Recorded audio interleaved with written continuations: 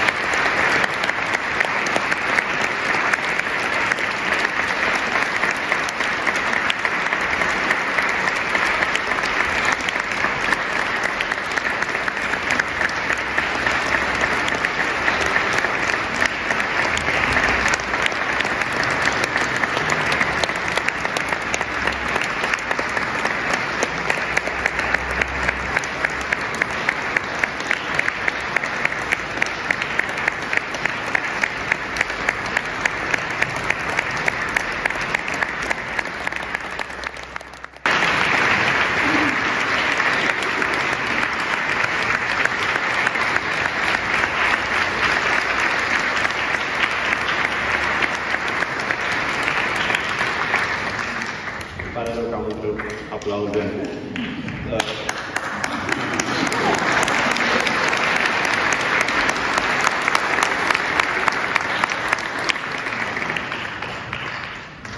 Vreau să mulțumesc tuturor celor care în seara asta ne-au încântat auzul cu minunatele armonii pe care le-am ascultat.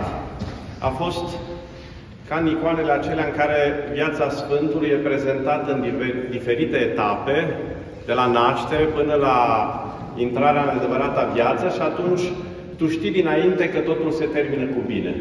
Cam așa a fost și în seara aceasta, am auzit uh, cântări despre momentele de suferință, uh, despre răstignire, am contemplat împreună durerea Maicii Domnului, dar în același timp și bucuria învierii. Și de aceea spun că durerea acestei săptămâni și a acestei perioade și suferința este împletită cu bucuria învierii. Asta am simțit în această seară, că am reușit să punem împreună uh, complexitatea misterului pe care îl trăim. Unii mistici spun că în acele momente de suferință, Hristos, ca și Dumnezeu, vedea toate viacurile și dacă pe de parte era consolat de cei care prin patima și învierea Lui erau mântuiți și intrau în, în împărăția cerurilor, era o tristețe care s-a transformat în uh, sudoare de sânge, în picături de sânge pe fruntea Lui pentru cei care, în ciuda sacrificiului și a iubirii, refuză mântuirea. Dacă e adevărat că Dumnezeu în acele momente, Fiul lui Dumnezeu, avea în fața lui toate viacurile, trecutul, prezentul și viitorul, înseamnă că și momentul din această seară era contemplat și prezent în mod tainic în acele momente și că prin cântul nostru, prin bucuria noastră, prin rugăciunea noastră am adus alinare Domnului. Aș vrea să mulțumesc din inimă doamnei dirișor Angela David și tuturor celor din Corul Angelii pentru că au acceptat cu generozitate și disponibilitate să devină corul catedralei, înțelegând că această catedrală minunată și episcopul au nevoie de ei. O seară binecuvântată tuturor, lăudați să fie Iisus Hristos!